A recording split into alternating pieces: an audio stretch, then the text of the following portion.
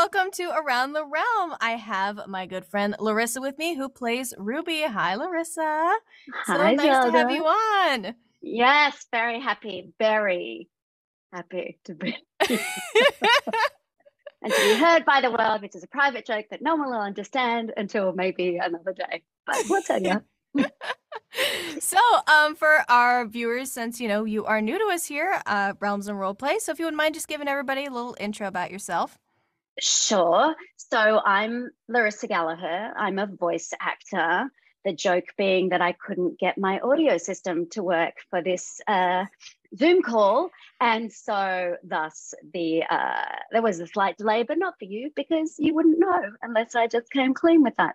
Anywho, uh, yes, I'm a voice actor. Uh, majority of the work that I've done is um, in uh, cartoons and or animation and uh, video games. Uh, I obviously have an accent, and I'm not from this country. so originally from Perth in Western Australia, uh, made my way over to the states, and have been living in LA for the past ten years, eleven years, I think, coming up and uh, yeah, and then had the great fortune a few years ago of meeting Carmen, and then got introduced to the wonderful world of temporary legend, and realms, and role play.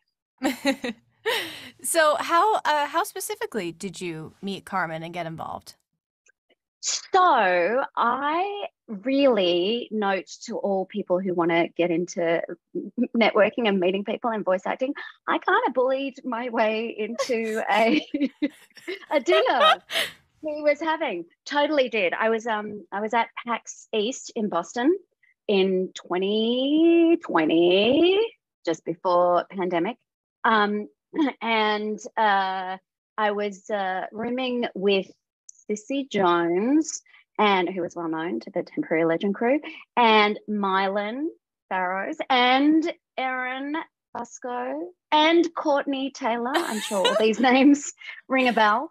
Um, and yeah, we were we grabbed an Airbnb, and then Sissy, Sissy and Courtney were going out to dinner with Carmen because they were going to be doing a um, like a RPG at PAX and it was the first night that we were there and i just was like i want to come and drink and eat and meet people and have fun. So i'm coming too. And they're like so yeah. And then and then i met carmen and and he was amazing. And uh yeah. And then so uh, obviously truncate a lot of things. I had met Mylan before at a previous PAX. I'd not met Erin, but the nature of us all being in the Airbnb by the end of those three days at PAX, we all knew each other very well. Um, but yeah, we were so we I went to that dinner and then Carmen was running one of the games at PAX on one of the panels and he uh, kindly asked me to join in join in for the panel and i did that and then kind of the rest is history i obviously performed well enough to be invited back to play mm-hmm. so was very excited to get the call to to come and join I have to say it's the most Ruby way of getting into something. I, I know, which is a very unlike me way of doing something. Just to say, I'm gonna uh, do I'm it. just gonna join in. Yeah. sometimes that's the best. Yeah, I, I will say I've learned that from from that moment and and similar and other Ruby like moments. Sometimes you just have to suck it up and step forward, and wonderful things happen. So yeah. Mm-hmm. You never know. Mm-hmm. Um, so you met obviously you met Mylan and Erin before. So did you ever meet Ashley or Ryan? No, no, oh, okay.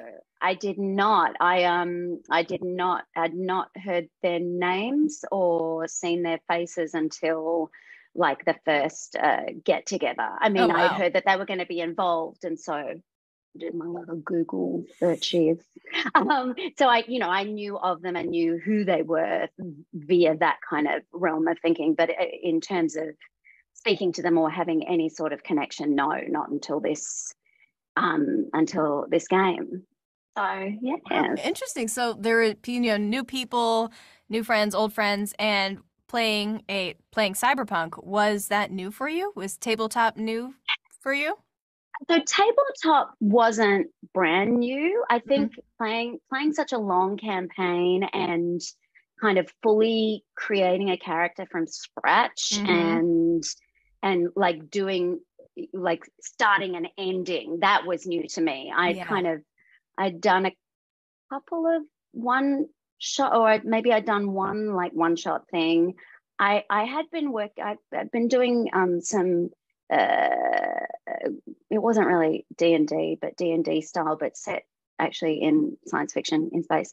Um, so I'd done a, like a few weeks of playing with friends doing that, but then just the nature of kind of that fizzled out. So this was my first kind of big woe to go campaign working on something, but I'd had enough experience, and I mean, really, it's improv and and playing and. Uh, and everything one was so great. Like first episode off the bat everyone was amazing.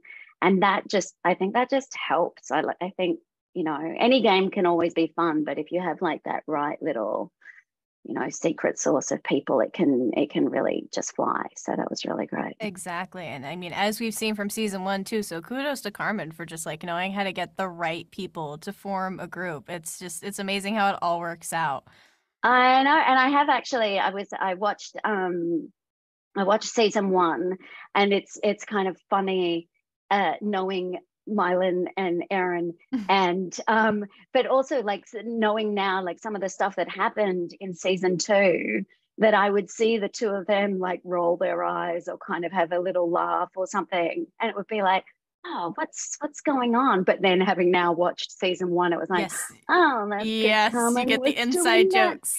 exactly. Which is hilarious, but we didn't like we we didn't know, and nor did they kind of tell us now. But like a lot of that, you know, thrice down and oh, really? like I was about of, to say, did you not know about thrice down? No, no, oh. they were all giggling, and so I knew there was something, but no, had no had no idea. Oh, and we oh, wow. did kind of we did debrief a little, and we did kind of talk in between stuff. But I think we all, I mean, unless I unless my memory is completely shot, I, I kind of have this sense that we we wanted to keep what was happening on game day as game day, and we didn't. Yeah. So you know, or at least from my point of view, I didn't, you know, pre-plan or get together with people or even discuss the show beyond when we sat down like on Sunday morning and recorded. Mm-hmm. Mm-hmm.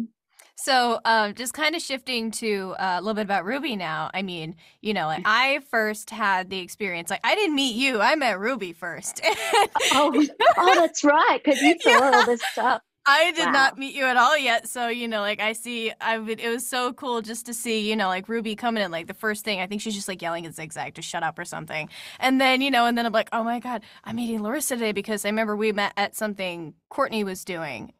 That's right. Yeah, yeah and yeah, then you're just like yeah. so nice. You're like, oh my gosh, hi. I'm like, oh wow, you're not like your character. Good. I don't think you even told me that at the time, so I wouldn't no. have even known. No, yeah, I don't think I said anything to later. so, what was the process like coming up for Ruby? You know, like just like building somebody that's so very much not, you know, not like you in a sense. No.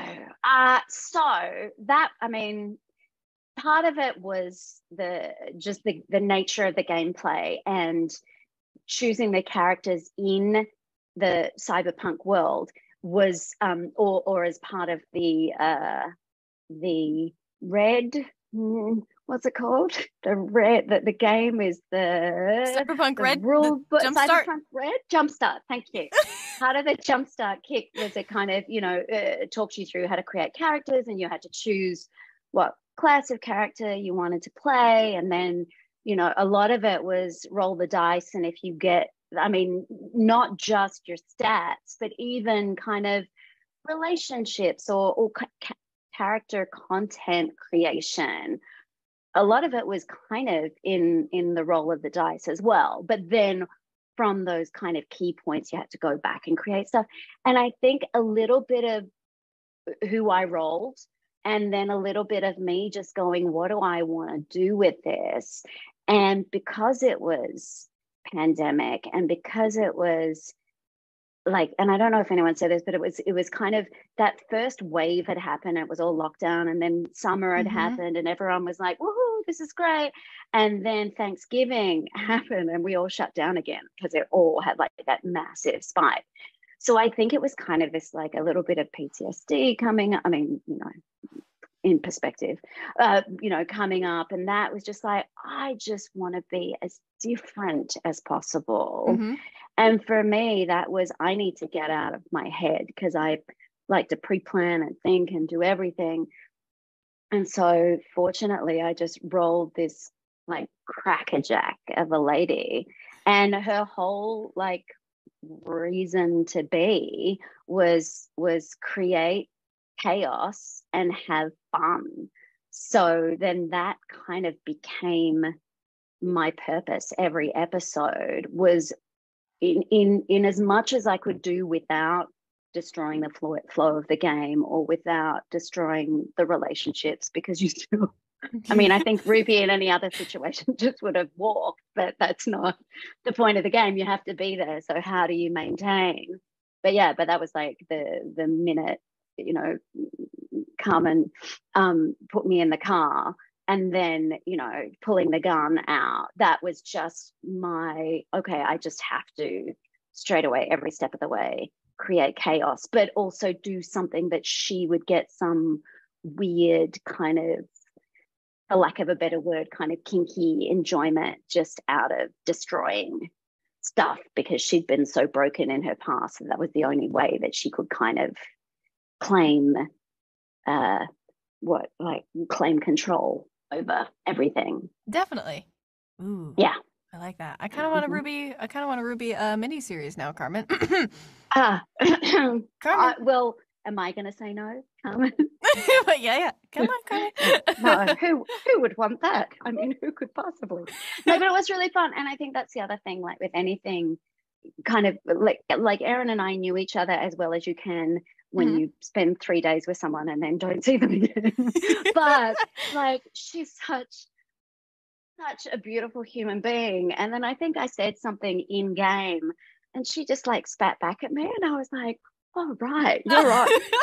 so like I think we just started sparring. That wasn't planned, that wasn't organized. Yes. Um the Sid relate I'm just trying to kind of think relationships with people. So that yeah, so the the the zigzag Ruby thing, like we did have the establishment that I was her manager, mm-hmm. but how that relationship worked and whether we liked each other or not only happened because Erin said whatever I can't even remember whatever she said, and mm-hmm. I was like, all right, um, you know, I'm going to play this out. Um, but and then the Sid one as well. I think we both knew that in the same place. I can't remember whether we. I don't think we planned it. I think we just in the moment decided it was easier to know each other and have that kind of back history and was kind of fun as well. And Mylan's so awesome.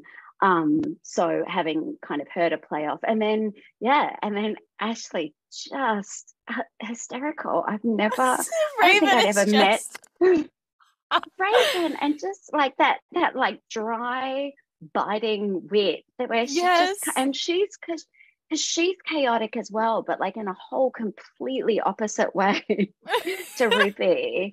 so that was great. And then Ryan being this like, you know, just kind of quiet and seemingly, and then like fire up the big nuts. And so yeah, yeah pulling just, out a cigarette, just, having some shrimp. Yep. having some shrimp, having stealing my coffee, like do it. Oh, and the shrimp, shrimp. so like, what, what what episode are we at? Episode we're at eight. eight. Yeah. Oh, okay. All right. Well, yeah. okay. All right. Well, let's see. You're just, just gonna keep watching. The so. shrimp. The shrimp. I know that. Yeah, the shrimp has been established yeah. quite frequently here. I yes. Ruby was not impressed with the amount of food that was constantly being eaten, or people just rather than actually getting forward and protecting people, just oh, choosing yeah. to eat food instead. Was... Oh yeah, Sid and Gizmo's main goal, I think, was the food. I don't even think they, you know, Nothing to do with any anything else, you know. Just no. Yeah, it was great. It was great. So I also love how uh, seeing Erin play Zigzag because I first, you know, saw. I mean, I know Erin now, and then I saw Erin play Win. I'm like, okay, they're pretty similar, but seeing Erin play like such a Spitfire character, especially when you two are battling, like you two when you two battle for Kodara, it was Right. so funny and so fun to see Aaron play something that's like a little bit out of herself, and it's just, it was. I loved. I love the Zigzag arc. It's amazing. Yeah, Oh. it's so it's so great. And then and like now rewatching it, kind of remember because you just forget Mm, Oh so yeah. much. Because when you're playing as well, you've got the whole like what's happening, who's that person, who's that NPC, have I met them Mhm. before? Am I I know that because I'm listening in game, but does my character know that? And then Yes. meanwhile, you know, yeah, and then other people are doing side journeys and then you come back in. So like now to be able to rewatch it and kind of see things like Ryan's uh I just get like Ryan's face, just watching his face when he does his little like he's like and then he's got like these little under the cuff chuckles and it's just so beautiful because you don't yeah, I'm not really taking notice when we're playing because I'm so concerned of Yeah. Don't forget and and you know make make this be as good as it can be so it's it's yeah it's really lovely to kind of see what everyone's created even though you were i was in the journey with it as well Definitely. yeah Um, is there a character besides your own that you see yourself in and why? that i see myself in Hmm. my my me larissa Yeah.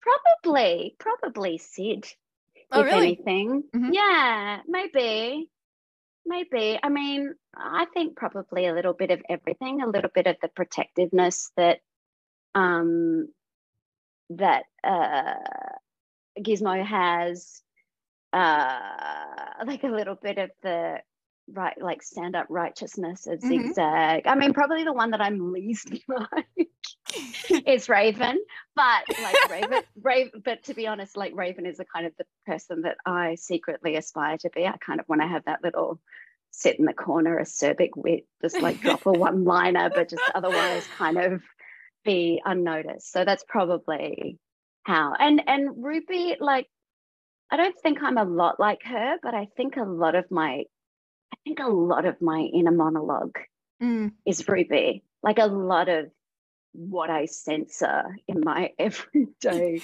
life, people who know me probably shouldn't say that.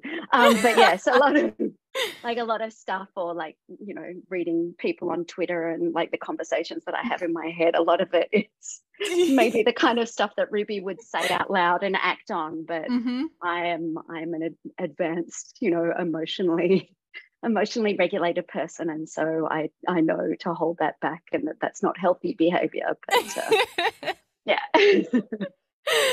um, so what advice would you give to somebody wanting to make their own tabletop character?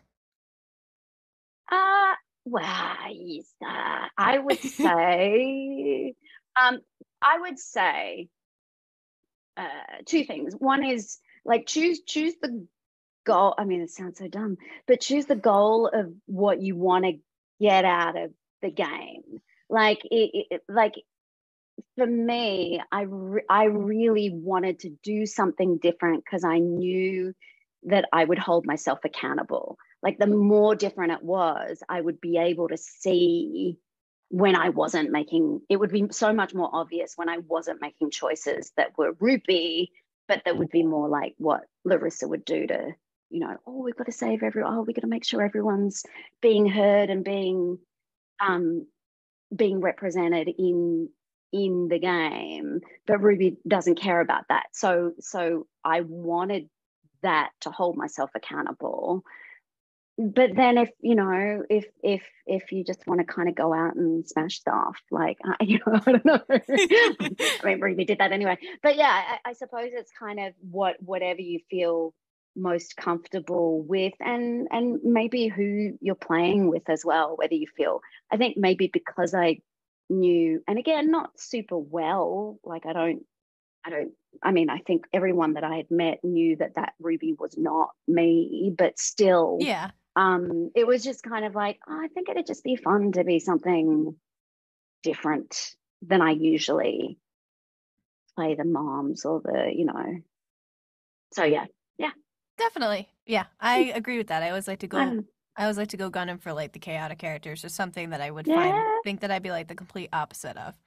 Well, and I think you find your strength when you do something that's out because also if you if you're if you're in the RPG, you're in a safe space because you're obviously playing with people who are your friends. Mhm. So we're better than to branch out and and be something different than with a group of people that know you and love you is kind of I suppose where I'd go with that. But, Exactly. uh, but you know, you do you boo, as say. You do you. Um, so where do you think Ruby would be if she weren't with this like group per se? Where do you think like where do you what do you think she would be up to? I think she would.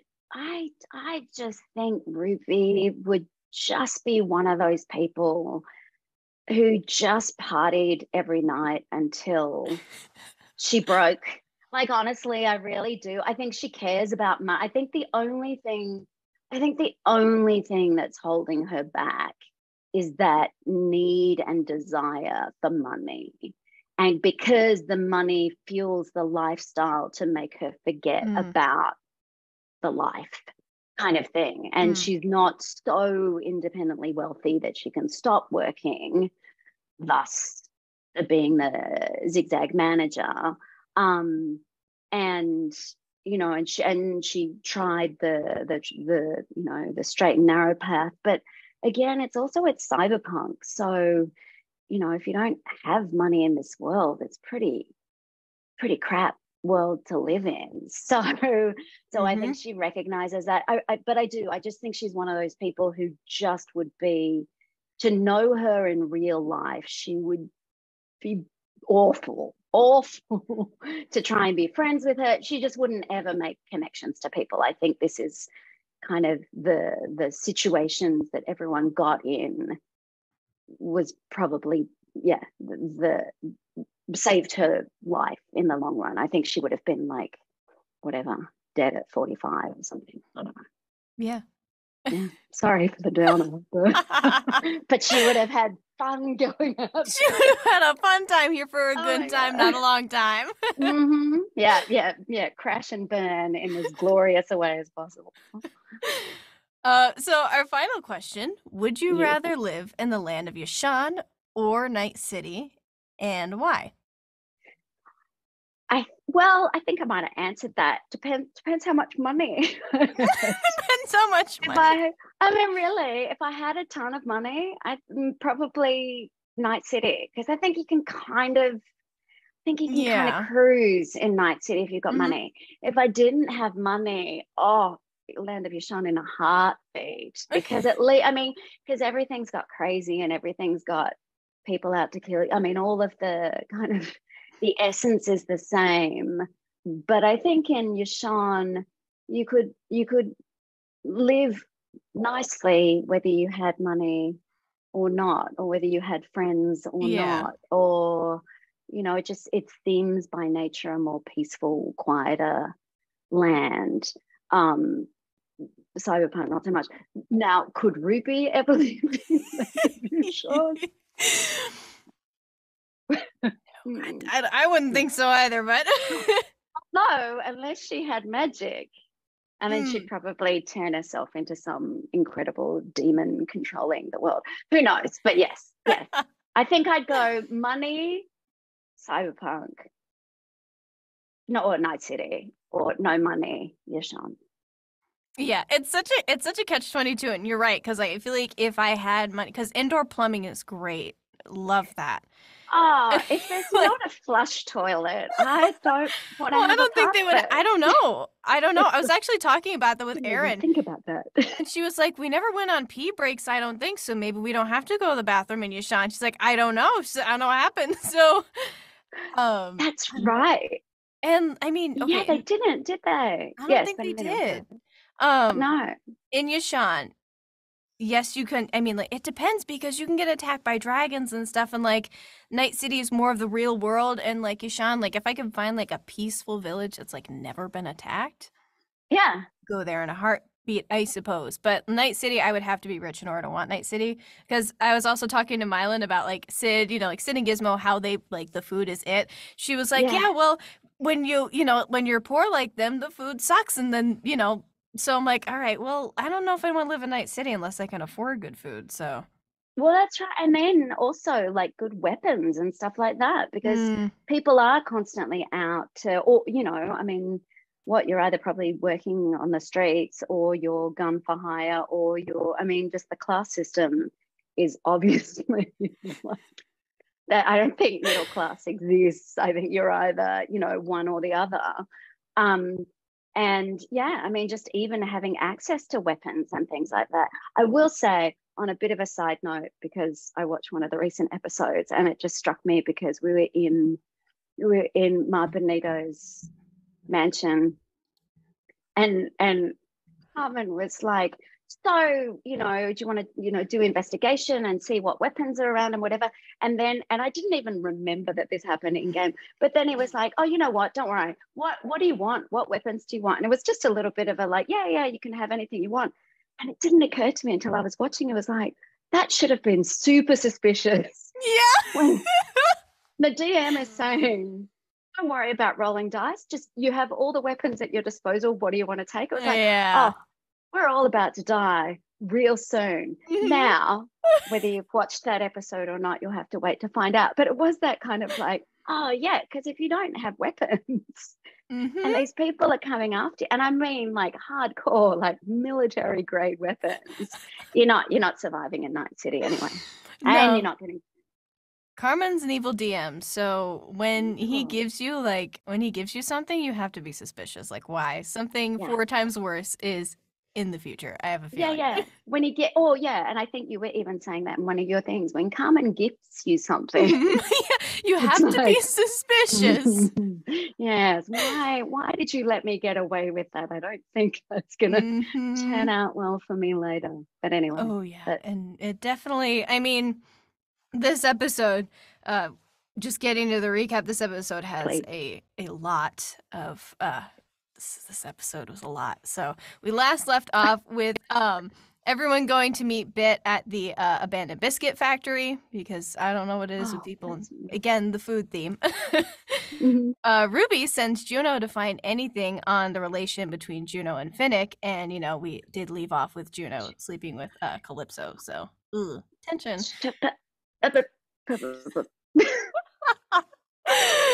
Didn't happen. We don't talk about that.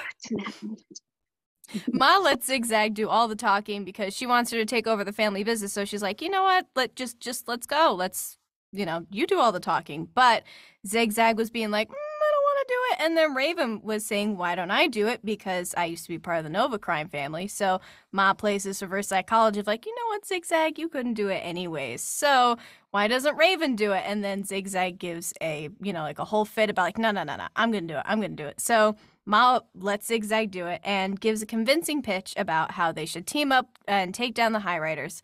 And Bit wants to meet in another location with no weapons. So everyone drops all their weapons besides Ruby, who tries to conceal two knives. And I she mean, tried. not?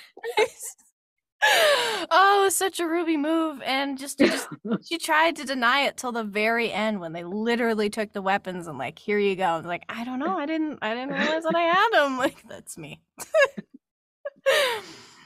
Zigzag plays the recording to bit where the High Riders want to take over Night City. And the Novas have a treaty with the High Riders, so they're like, uh, I don't want to stand up against them because they technically haven't attacked us. So and Zigzag and Ma try to negotiate, saying that Finnick is a traitor, and eventually they're gonna betray them because he betrayed Sid. So Raven convinces Bit to unite the gangs, but he wants to do it under his and Raven's rule because Bit's got a crush. And here we go. Remember when I mentioned Carmen, Carmen being like an evil DM? Uh, yeah, all of a sudden, Bug shoots Bit in the head. And this is where things really start to turn and it just gets so good. Sid is going to be net running to see where the captured Benitos are since they need to get a hold of them and escape real quick. Thank you, Bug. Zigzag hands Gizmo the holodisc, and they want to edit the part out about the Benito family and leave in the parts about taking over Night City. This was so, so smart. And they all plan on pinning all of this on the High Riders since everybody that saw Bit die is just is dead. So Gizmo is able to edit the holodisc and make it seem like the original disc was an attack on the Novas. Oh, good. Yeah, wasn't that so good? Oh, and sorry. Ruby, So they think about, It's yeah, like, that's oh, really that was good. That was good. Yeah. Ruby has the radio implant and says that the High Riders are attacking, while Raven is yelling, saying that they're under attack. And Sid is working with disabling the cameras. When the guards arrive, they're totally fooled, and they believe that the High Riders have definitely killed Bit. So they run off to get Mo, which is the Benito doctor, to see if he can save Bit, but he's like, he dead. He's dead. He's been dead for like 20 minutes. Yeah, not gonna happen. But they've uh, completely fooled the Novas into thinking the High Riders killed Bit, really pulled it off. So Gizmo goes through Bit's phone to try and find the true leader of the Novas, who they were trying to get out of Bit before he died. But uh, they trace an encrypted number to a location, which is a manor on the outskirts of town. And Sid talks to Mo about the possibility of her of her getting her head fixed, and she's got a lot to think about because I don't know if I get my head fixed by Mo, but I don't know how much time she has left to get all the stuff with Kodara. So yeah, Sid has a lot to think about. And our group just pulled this off. So this was a very high tension spot to leave off, but you know, you got to keep watching to figure out what's going to happen next. Nova's going to figure it out? So much more. So, So much it just- more is going to happen too. I know. it's crazy. Uh, like, yeah, to think that I'm kind of thinking, yeah, anyway, whatever. Even, yeah, new, old characters, new characters, so many great Oh, things afoot. So But, many uh, great things afoot. But, you know, you got to keep watching. So be sure to tune into next week's episode. And Larissa, thank you so much for coming on here. Thank you. Thank you for having me. Hope you're all watching and enjoying it. I'll Yes. see you soon. Thank you for tuning in, everybody. Bye. Bye.